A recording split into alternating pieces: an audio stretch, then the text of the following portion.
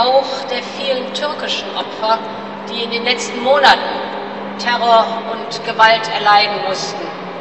Deshalb wissen wir um die Leistung, die die Türkei erbringt, die seit geraumer Zeit weit über zwei Millionen Flüchtlingen hier Herberge gibt und sie versorgt. Suriye'de ve Irak'taki faaliyetlerine son vermemiz gerektiğinin bilincindeyiz. Bu vesileyle İstanbul'da terör saldırısına hayatlarını kaybedenlere rahmet ve yakınlarına sabır diliyorum. İstanbul'daki terör saldırısı bir kez daha göstermiştir ki teröre karşı uluslararası işbirliği teröre karşı başarı için şarttır. Türkiye, Almanya ile tarihten gelen köklü ilişkilere sahiptir. Almanya, Türkiye'nin önemli bir ortağı ve müttefikidir. İlişkilerimiz çok boyutlu bir nitelik taşımaktadır. Bölgemizde ve dünyada yaşanan krizler mümkün olduğunca yakın temas halinde olmamızı zorunlu kılmaktadır.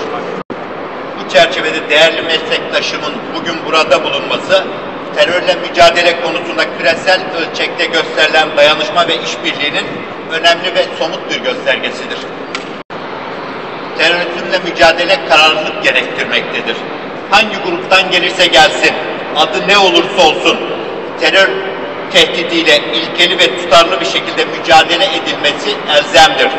Uluslararası toplumun bu alanda ayrım yapma ve seçici davranma lüksü yoktur. Küresel koalisyonun bir üyesi olarak Türkiye, sahip olduğu imkan ve kabiliyetleri azami ölçüde kullanmakta ve diğer ülkelerle paylaşmaktadır. İncirlik üssünün dost ve müttefik ülkelerin istifadesine sunulması bu bakış açısıyla değerlendirilmelidir. Kullanması iki ülke silahlı kuvvetleri arasında yakın işbirliği tesis edilmesine önemli katkılar sunacaktır. Son olarak şunu belirtmek isterim ki terör nerede ve ne adı altında olursa olsun kazanma şansı yoktur. Kaybetmeye mahkumdur. Bunun süresini de bu alandaki uluslararası işbirliğinin boyutu ve kararlılığı belirtecektir. Bugün burada bu işbirliğinin en somut örneğini görmekteyiz. Burada görev alan herkese hem teşekkür ediyorum hem de başarılar diliyorum.